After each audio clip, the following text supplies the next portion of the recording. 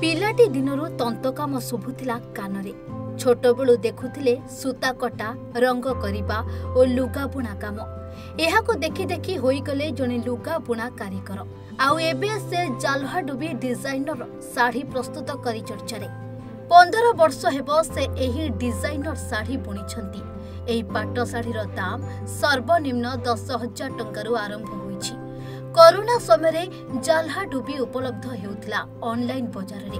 ଏବେ ଏହା ଅର୍ଡର ଆସୁଛି ଦେଶ ଓ ଦେଶ ବାହାରୁ।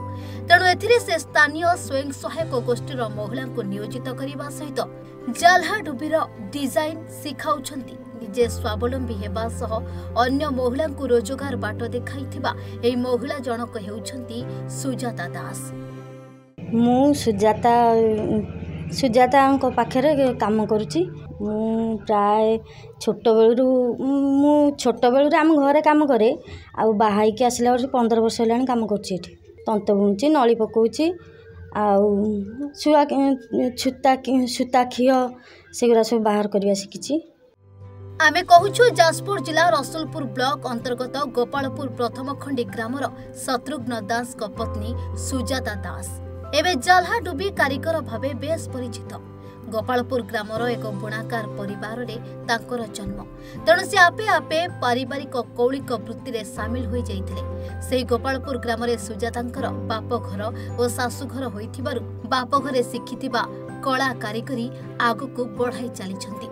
ହାତବୁଣା ଶାଢ଼ୀର ପଣତ ଓ ଧଡ଼ିରେ ଜାଲହା ବୁଡ଼ି କାମ କରାଯାଏ। ଏଥିରେ ସ୍ୱତନ୍ତ୍ର ତାଲିମ ଓ ଅଭିଜ୍ଞତାର ଆବଶ୍ୟକତା ରହିଥିବା କୁହନ୍ତି ସୁଜାତା। ତାଙ୍କ କହିବା ଅନୁସାରେ ଏହି ପାଟ ଶାଢ଼ୀ ଖୁବ୍ ଆକର୍ଷଣୀୟ ହୋଇଥାଏ ଓ ଗ୍ରାହକଙ୍କ ପସନ୍ଦ ଆସିଥାଏ। ଏହି ଡିଜାଇନର ଶାଢ଼ୀ ବୁଣିବା ପାଇଁ ବହୁତ ସମୟ ଲାଗିଥିବାରୁ ବଜାରରେ ଏହାର ଦାମ ଅଧିକ ରହିଥାଏ। ଅବଶ୍ୟ ଏହାର ସ୍ୱତନ୍ତ୍ର ଗ୍ରାହକ ମଧ୍ୟ ରହିଛନ୍ତି। କରୋନା ସମୟରେ ବେପାର ମାନ୍ଦା ହେବାରୁ ଅନଲାଇନ ବ୍ୟବସାୟ ଆରମ୍ଭ କରିଥିଲେ। ଏବେ ଦେଶ ବିଦେଶରୁ ଡୁବି ଶାଢ଼ୀର ଅର୍ଡର ଆସୁଛି ଓ ବ୍ୟବସାୟ ମଧ୍ୟ ବଜାରରେ ଭଲ ରହିଛି। ଏହି କାମରେ ସହାୟତା କରିବା ପାଇଁ ସୁଜାତା ନିଜେ କରିଥିବା ଏକ ସ୍ୱୟଂ ସହାୟକ ଗୋଷ୍ଠୀର ମହିଳାମାନଙ୍କୁ ନିୟୋଜିତ କରିଛନ୍ତି। ସେମାନଙ୍କୁ କାମ ଦେବା ସହିତ ରୋଜଗାର ମଧ୍ୟ ଦେଇଥାନ୍ତି। ଜାଲ୍ହା ଡୁବି କାରିଗରୀ କୌଶଳୀ ଅନ୍ୟମାନଙ୍କୁ ଶିଖାଇବା ମୂଳ ଉଦ୍ଦେଶ୍ୟ ବୋଲି ସୁଜାତା କହିଛନ୍ତି। ଯଦି ସୁଜାତାଙ୍କୁ ସରକାରୀ ସହାୟତା ମିଳନ୍ତା ତେବେ ସେ ଆଗକୁ ଆହୁରି ନୂଆ ନୂଆ ଡିଜାଇନର ଶାଢ଼ୀ ବୁଣି ବଜାରକୁ ବିକ୍ରି ପାଇଁ ପଠାନ୍ତେ ବୋଲି ସୁଜାତା କହିଛନ୍ତି। ବହୁତ ଛୋଟବେଳରୁ କାମ କଲିଣି।